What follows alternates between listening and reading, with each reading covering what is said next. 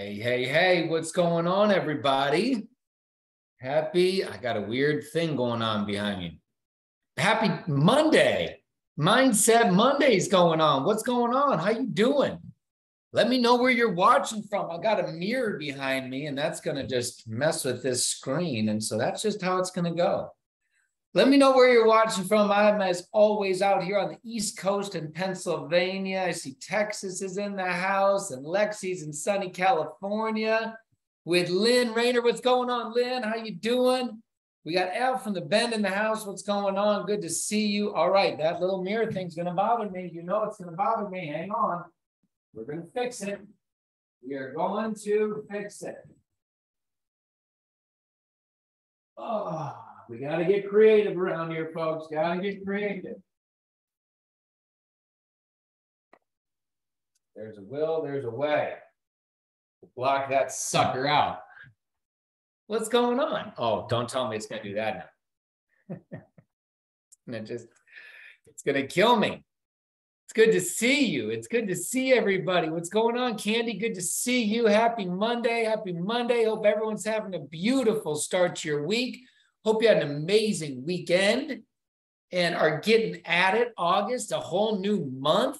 Excited to be rocking and rolling with each and every one of you. And we are going to get started here in just a couple minutes. Make sure you send out the messages to everyone in your team. Let them know this is the place to be. Mindset Monday, the next 30 minutes. We are going to be going over our book, Give and Take by Adam Grant. So excited that you guys are here. Um, it's going to be fun. We're going to have a great time.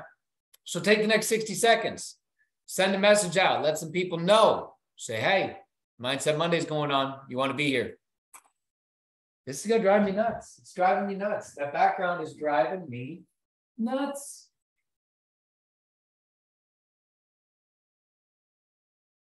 All right, so you're going to get the reality. Hang on. Enough of this.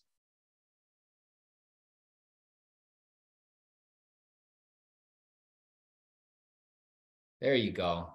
There it is. There's my background, nitty gritty. Jennifer's office. I'm taking over. It's good to see all of you. I have got notes on notes on notes from this. Oh my gosh, you guys, I'm so fired up. And I thought we were going to get through a couple chapters today. The reality is, is chapter two is just chock full of information. The peacock and the panda. Give and Take by Adam Grant, chapter two. And so that's really what I want to cover tonight. That's really what we're going to go through. And I want to remind everyone, say you're you're here and and um, say you're like, you know what, Taylor, I uh, I I haven't got the book. Um, I haven't read the book. I want you to know you're my hope is that you're going to get some value, some benefit from this call. My hope is that even without reading the book, listening to the book, that just by attending these calls, you will pick up some nuggets. You'll pick up some stuff that'll hopefully bring some value to your life. A lot of people are busy, they got stuff going on. I understand that. And so I want you to know that that uh, don't feel bad if that's you. My hope is and and my happiness comes from the fact that you are choosing to show up and you're choosing to be here um, to hopefully grow. And uh, so chapter two, chapter two is called the peacock and the panda in give and take. And I have got a bunch of notes, and like always, we're going to run through them. Um, but do me a favor before we get started, put a five in the comments if you are excited for the, the pre sale launch of Paradise Punch this week. Let me know if you're excited in the comments. I am so fired up. I am so freakishly excited to get this product. I think that everyone that was in Mexico uh, you know, that got their hands on this product wishes they would have saved it and uh, and made it last a little bit longer. But yes, for anyone that has not been on our What's Up Weekly calls or any of our calls, we will be this Wednesday uh, launching the pre-sale uh, Paradise Punch with the shipping, and uh, uh, we'll be getting it out to everyone by the end of August. But again, so excited! Yeah, digitally, yeah. So there's uh, learn, learn to Kindle books. Um, yeah, there's a bunch of great options out there. So again, I just invite you to get creative. YouTube's got a lot of great cliff notes for a lot of the books that we're doing. Um, I know that Erica Jordan was amazing. She found our last book and and uh, like a di- di- digital format and uh, was able to get it out to a bunch of people. So again, resourceful, get resourceful. Um, getting into chapter two here, as always, I just take a whole bunch of notes, and my goal is just to go through them.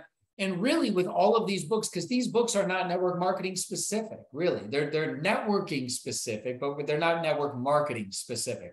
And I picked them very intentionally because I feel like a lot of network marketing books and I don't mean this in a bad way, but they kind of just give um, a lot of like a lot of the greats just kind of give a lot of the same information. It's just kind of how to build a network. It's how to build, be a leader, how to go for no, how to, you know, a lot of these principles that sometimes you get a little burnt out of here, right? Sometimes you're like, all right, I'm, I'm, I'm, I've heard that enough. I've heard go for no enough. I've heard you know, all this stuff. I want, I need to grow up here. There's something disconnecting up here. There's something missing up here.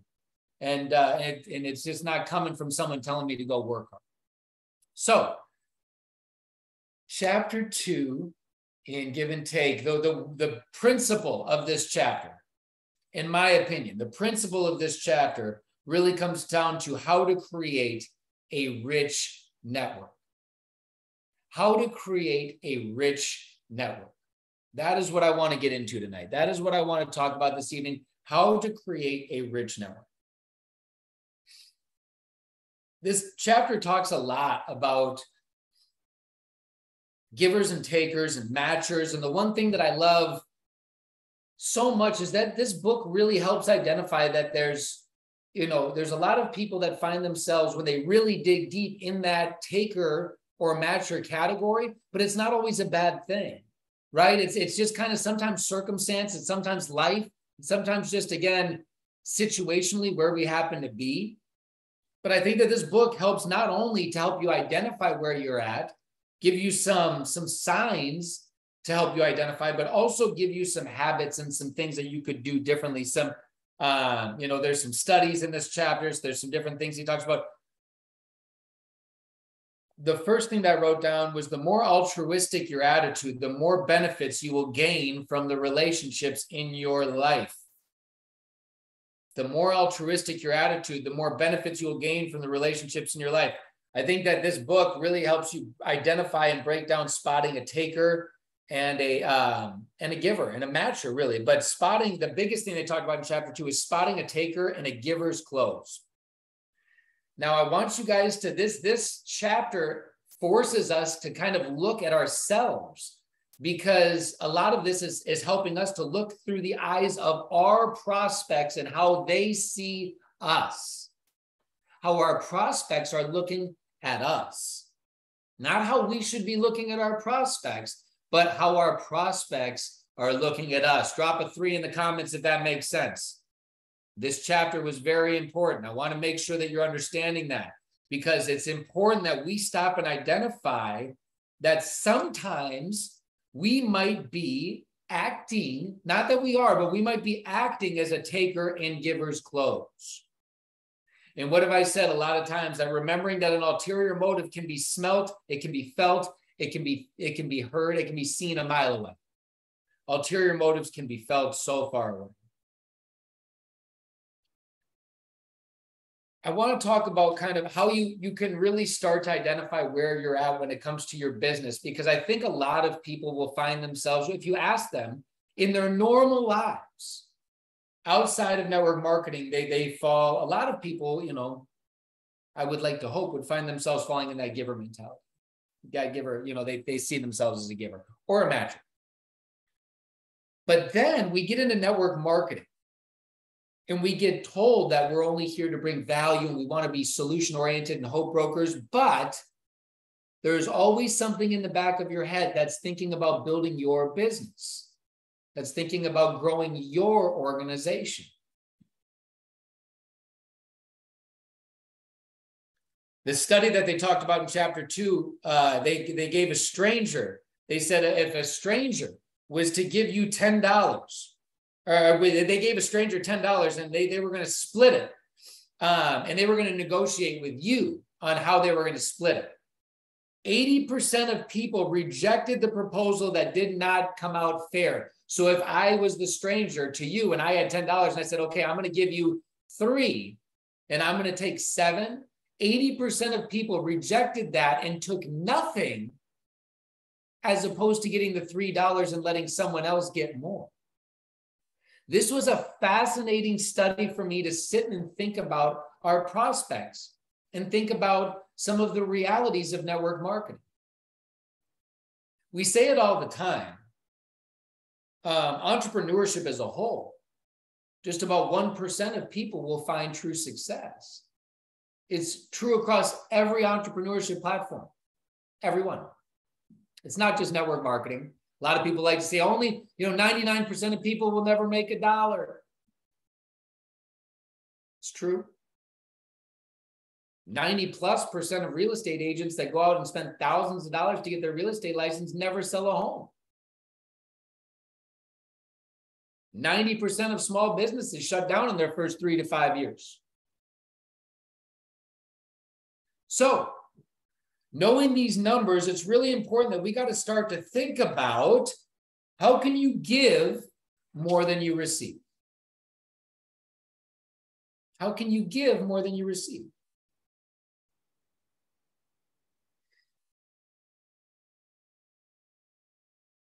I love this. The, the, the, benefits will ensue from investments in meaningful activities and relationships. What does that mean? Benefits will ensue from investments in meaningful activities and relationships.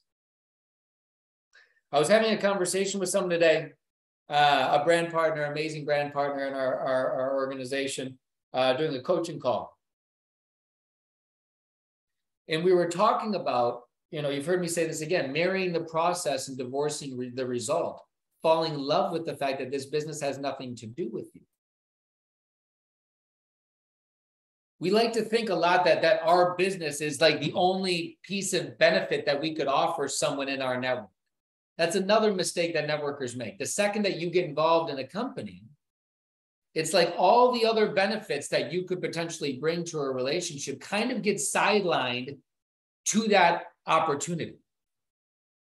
And I want to remind you that it is in those meaningful investments, it is in those uh, uh, meaningful investments in those activities and those relationships where you are going to build the trust necessary for someone to take a look at what it is that you have without thinking that it is a taker presenting it to them.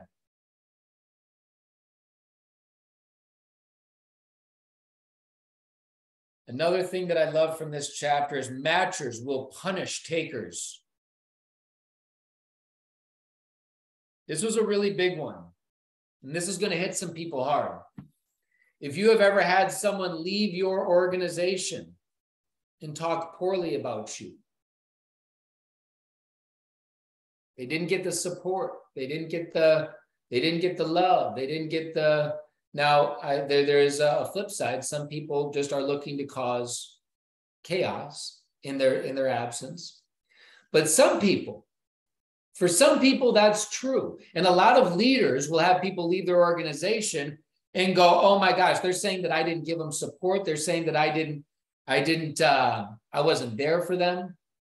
I think it's very, very important that we own as independent business owners, as independent brand partners, each and every one of you out there. I think it's very important that we own the energy in which that we bring someone into this business. It's very easy to, without even trying, overpromise to a prospect in this business. And in doing so, it creates a false perception that can make you look like a taker without ever being.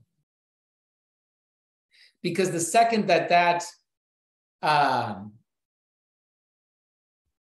that pedestal that you've set so high isn't lived up to, that person is going to have a, a direct excuse not only to stop working, but to blame you for their lack of results.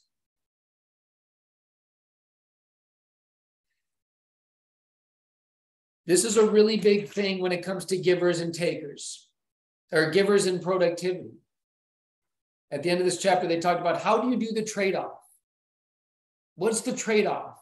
being a giver or being productive. Because sometimes it's really hard. You get caught in the trap of being a giver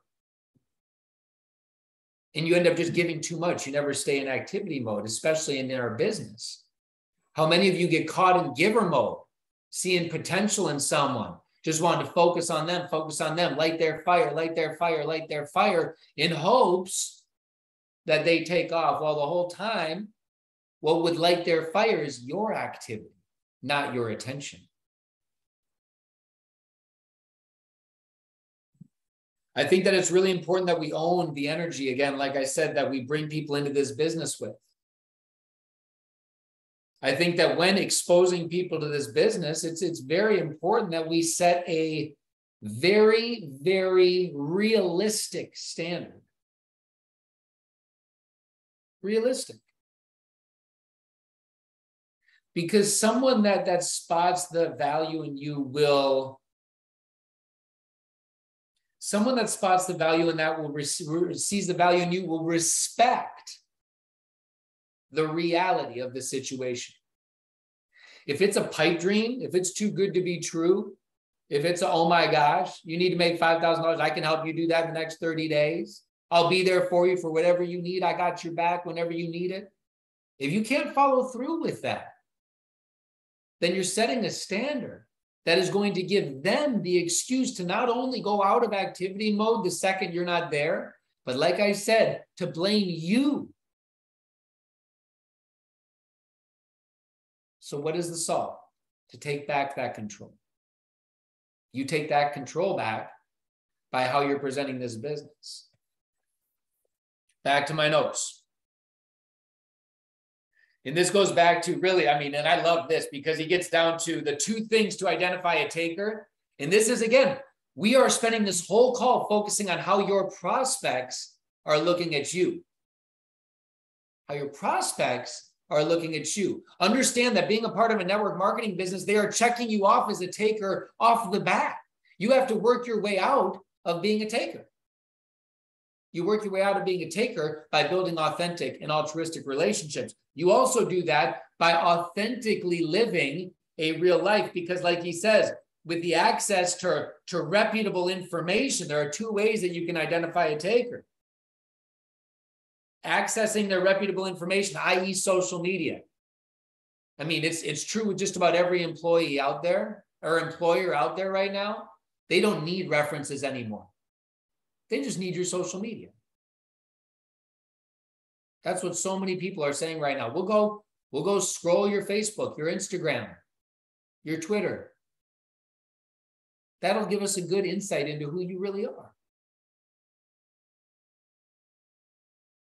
And the second was look for signs of boasting, look for signs of lekking, like they were talking about, and uh, and boasting. I love that here at the Happy Co, we have a lot of we conversation, not a lot of I conversation. But these are all signs to be aware of. If all of your prospects were to go and look at your social media right now as a direct re- reflection of who you are, would you be happy with what they saw? This isn't like a like a slight or an attack on anyone. This is just a question. These are just questions. I'm asking them to you because maybe you haven't thought about them before. And this is the way that the whole world, i.e., your network, is seeing this. And so it's important. It's important that we take time, like Gabrielle just said, it's important that we take an inventory, social media, and audit every once in a while to take a look at what our brand is saying about us understand that your prospect, someone you go meet. I mean, we do it with, uh, I mean, how many times have you guys gone on a date? I know that when Jennifer and I first started dating, I, I stalked her social media six years back. Tell me that you haven't done the exact same thing with a new prospect, a new business partner. When you get a new brand partner, you go stalk their social media like crazy. You do the same thing. It happens. And you immediately go, oh, we've got connections. Oh, we've got this in common. Oh, we've got that in common. Or you go, Ooh, red flag. Ooh, ooh, ooh okay. That's a lot of that's a lot of drama. Oh, okay. Ooh. Um, but it gives you a pretty quick insight. Pretty quick insight scrolling. So that was a really great thing. Is is um, they talk about uh, Adam Rifkin being the most connected person, and how he got that way by just being a giver, by just being a giver and giver and giver. And what he said is again, when you are forced with the trade off between giving and, and productivity, you give more. You want people to join you because they know your heart is in the right place.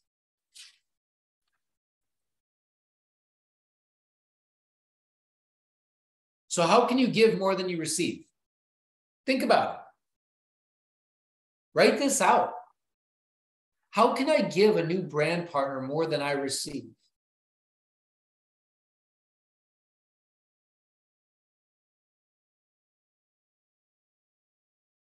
I want you to really think about that. Because let's just say a brand partner comes in on a happiest pack, and this isn't like financial, like monetary. But think about it. You're getting a few hundred dollars in Fast Start.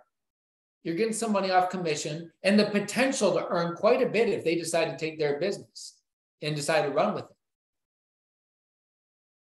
How can you give them more than you're getting from them? Again, I'm not talking monetary. We are living in the age of experientialism an age and status defined by experience, not by material.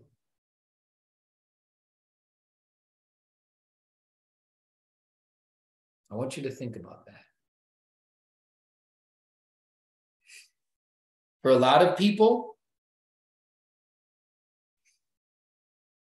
it's it's a matter of literally just with your customers reaching out to them, sending them a card, sending them a gift.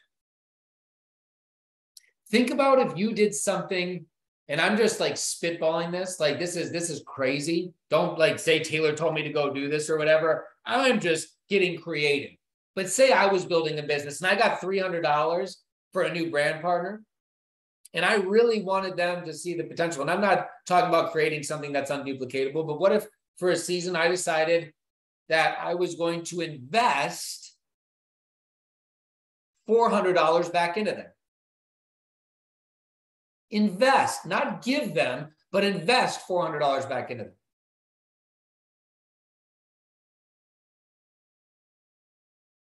What kind of productivity do you see that you would see out of that person? Instead of asking them to come in and give where you are now getting from them, and then asking them to go and continue to give and continue to work in an effort for you to potentially get. I'm just thinking how I would potentially do stuff. Because it's a lot better to give before you receive.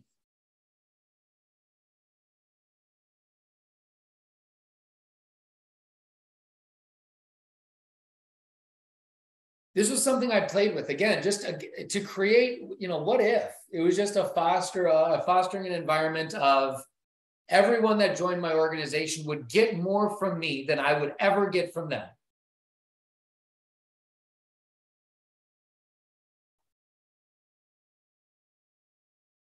Think about it. It's an interesting thought.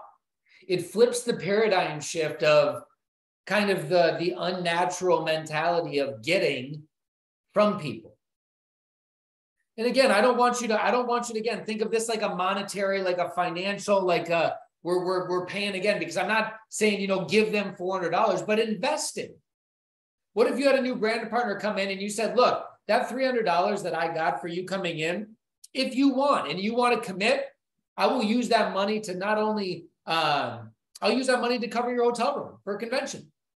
If you want to come to convention, you get the hotel room or you get the flight, and I'll cover your hotel with that money.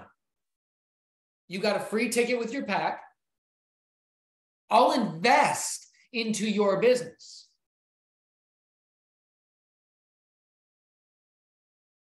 It's a thought. You're giving up a short term gain for potentially a long term win. Thoughts? Just throwing stuff into the wind. They talked a lot about matchers. When matchers give with expectation of getting, they direct their giving towards people who they think can help them. A lot of people find themselves, raise your hand, put a put a five in the comments if you found yourselves in the matcher category. When you've been reading this book, if you found yourself falling into the matcher category, put a five in the comments. When matchers give with expectation of getting, they direct their giving towards people who they think can help them. So a lot of this goes towards, you know, um, getting very selective, almost too selective as a matcher sometimes when it comes to those that you engage with about the business. You almost vet them too much because there's a part of your brain that thinks that if they're not going to do this, if they're not going to run, and, and you think that they might not, then it's not worth your time and energy. Thought that was a really good um, concept to, to, to bring to light of how can you flip that? How can you how can you step out of expectation and into a state of giving? How can a matcher step from uh, step out from matching and into giving? and leave behind this this mental block of of kind of pre-selecting everyone that you're talking to. It's like everyone you meet, you're like, mm, I don't think they're they're they're not going to be qualified. They're not worth the time. Yes, Pia. Yep. Try to see them all equally. And again, it's it's it's people. Everyone. The great thing about this book is you're going to find yourself, everyone on here is going to find themselves in a different place, in a different space. And there's value for each and every part of where you could possibly be. They talked about strong ties and weak ties. Put a one in the comments if you loved this part of chapter two. This is probably some of my biggest takeaways was the the the the, the strong ties and the weak ties. because they said some of the strongest knots come from the, the, the, the weakest ties. And I love that because they did a lot of studies in this book. And one of the studies, um, strong ties being your family, your immediate friends, your really close people, weak ties being those associates, weak ties being those, um, you know, the the the friend, you know, the the, the kind of uh, outer circle friends, your neighbors, stuff like that. What they found is that weak ties are predominantly way more likely to be there for you in times of need or in times of you asking than your strong ties will, which I thought was fascinating. I thought it was crazy. And so, um, but then again, like they said, it's tough to ask weak ties for help.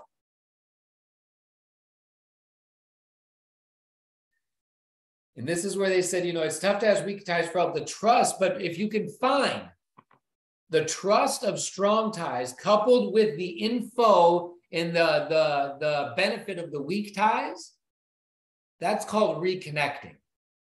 I thought, what a great connection, what a great parallel. The trust of strong ties coupled with the info and activity of weak ties is reconnecting, reactivating dormant contacts, reconnecting with people. And again, when reconnecting with people, people that you haven't talked to for a long time, it's very easy to start that conversation of friendship because you already have those old ties. You already have those old emotions. You already have those old bonds. But, very big but and a caveat, like Adam Grant talks about in this book, if, if, if it was your taker mentality that led to those ties being weakened, then sometimes you have to uh, almost accept that that bond might not be able to come back. Sometimes apologies can mend them, sometimes they can't. But it's really important to identify, and this is not to meant not to meant to be like a, a therapist lesson, but it's really meant to get inside your head and say, how have I been with the people in my life? If I have, if Taylor could look at the last five years of my life and everyone I've come in contact with, and you chalked up all my interactions over the last five years, would I be labeled a taker? Would I be labeled a matcher? Or would I be labeled a giver? And so it's not about, this isn't about beating yourself up. It's about identifying and moving forward. A lot of times we get stuck in a rut. We don't even understand why we're there. A lot of times we get stuck in this place of why is nothing working? You know, like he talks about karma, all this stuff. Um, he says it in the book givers get lucky. Givers get lucky. I got this book about five years ago. And while I would like to think that for most of my life, I've always thought I was a giver and and and this book helped me identify that there were seasons in my life where I was a giant taker. It helped me identify some of the triggers that got me into those. But then I realized that when I checked into this giver state, it says givers get lucky. But it's almost more than that. I mean, how many times, you know, put a five in the comments. I'll give you a couple examples. I can't tell you the amount of times that I have been upgraded to first class on an airplane flight just because of being a giver and being kind.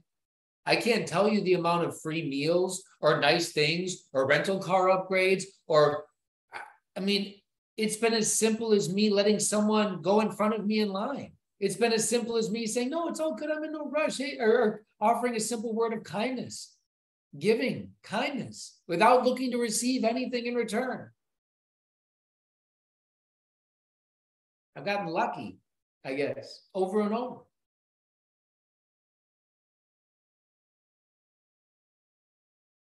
But I think that that was one of the biggest takeaways for me is the trust of strong ties coupled with the info and the the uh, the uh, activity of weak ties. How many people can you reconnect with? How many people on your list can you reach back out to? Can you be talking to in the next week?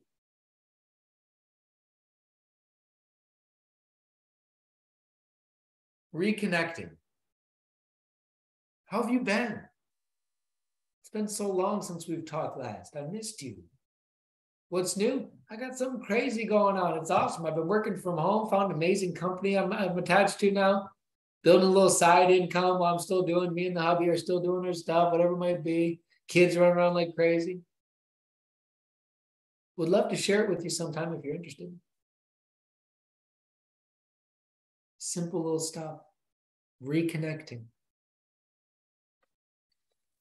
And then it said, if you run out of weak ties, you turn to your dormant ties. Reactivating a dormant tie takes much less work than creating a new tie. Re- reactivating a dormant tie. Yeah, the whole season on dormant ties was great, right? And so I want to remind you guys in this chapter, as we kind of come to a close, I want you to really think tonight and tomorrow, throughout this whole week, I want you to think through the eyes of your prospect. I want you to think through the eyes of your network. I don't want you to look at your network the way that you've looked at them. I want you to look at them through their eyes, how they're looking at you. I want each and every one of you to have a rich network. I want you to be able to identify if maybe there have been seasons where you have been falling into a season where you've been, you know, taking on the role of a taker in giver's clothing. And not beat yourself up about it. Just own it. Like I said, there were seasons in my life that I had to own where I was a massive taker. I didn't beat myself up. I just decided to make a change. Just decided that going forward, I don't need to live that way anymore. And guess what? All of the relationships that I thought had been tarnished all came back, every single one. And I think that there's a lot of times, again, uh, I hear this every day in conversation. If you find yourself getting ghosted, if you find yourself getting ghosted, the infamous ghosted in network marketing, put a five in the comments if you've ever been ghosted. Everyone on this call should put a five in the comments. I put a five in the comments. If you put a five in the comments, that means that that person has looked at you for better or for worse as a taker.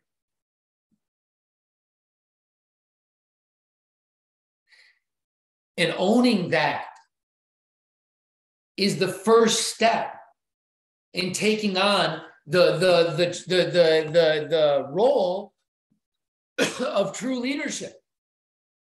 Owning that is the first step of saying, yes, I didn't build a relationship strong enough to ask that question. It was a little bit over the top. I did that was inappropriate of me.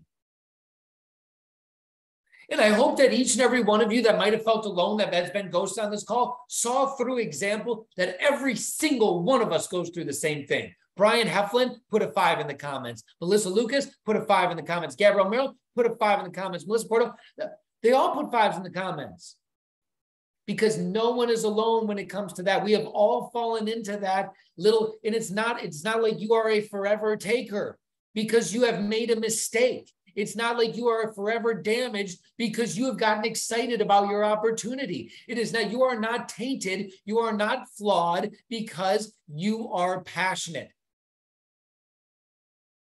But this is a wake up call. This is an opportunity to plan, do, review, to accept, and to identify that there have been things that you have been doing that have not been getting you the desired result. In order for you to get what you desire, you are going to need to change. You're going to need to adapt. You're going to need to try new things. And all I'm asking you to try is to give a little bit more, to love a little bit more, to think of all the ways outside of the Happy Co that you can bring value to your networks, to their lives. Because while we all see the value here, we all see the blessing and the, the amazing, incredible opportunity that we have. The people in your life are going to have to see that you care dramatically before they look at you as more than just a matcher or a taker. When they start to look at you as a giver, you will have people that will be joining your business in waves that you will not be able to control. That's what I want for each and every one of you. And yes, this might take a season for some of you. This might take a season of going back and saying, you know what, I have, I, you know i'm a single mom. I've got three kids. I've got I, I have to be a taker. I have to ask a lot of my network in this season. I have to. I don't have the I'm, everyone i call i'm asking for help. I'm asking if they can help watch the kids. I'm asking if they can come over and let the dog i'm asking if they can you know pick up a shift or whatever it might be. Understand that that doesn't mean that you can't add and be a giver give more on top of that. It doesn't mean that you can't find ways to reciprocate and to overdo what they might be giving to you. It's just a matter of getting creative and getting out of the mindset of what can you give me and getting into the mindset of what can I give you. I hope that this call brought some benefit to your life. I hope that it gave you a little bit of perspective. I hope that it helped you open your eyes a little bit to the way potentially your prospects are looking at you and how we could potentially work to make it them look at us a little bit differently in a little bit brighter light.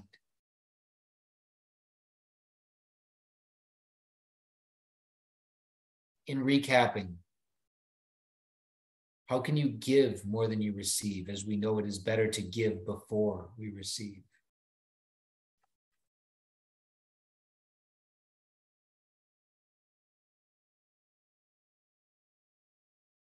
Remember that an ulterior motive can be felt and smelt a mile away. So lose it as quick as you can. And the more altruistic your attitude, the more benefits you will gain from the relationships in your network. There's not a, it's not a, a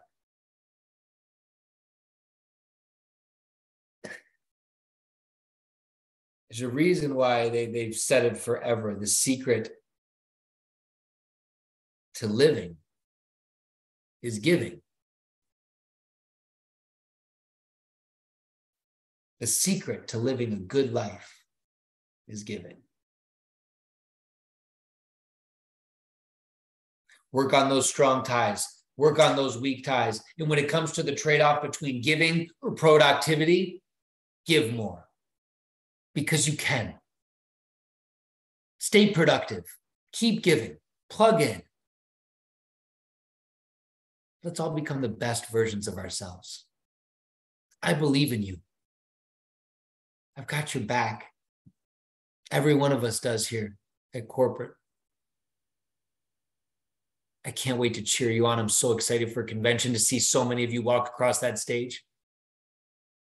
And I know that there are so many of you that are running for ranks right now that I hope you hit before we get there. I appreciate you. God bless you. Do not miss out on this What's Up Weekly, as not only are we going to be doing the Paradise Punch launch, pre launch, but we are also going to have our third keynote speaker that we are going to be announcing, and he's going to be with us on What's Up Weekly to deliver some amazing information that you do not want to miss. Until then, stay safe, be well. God bless you guys.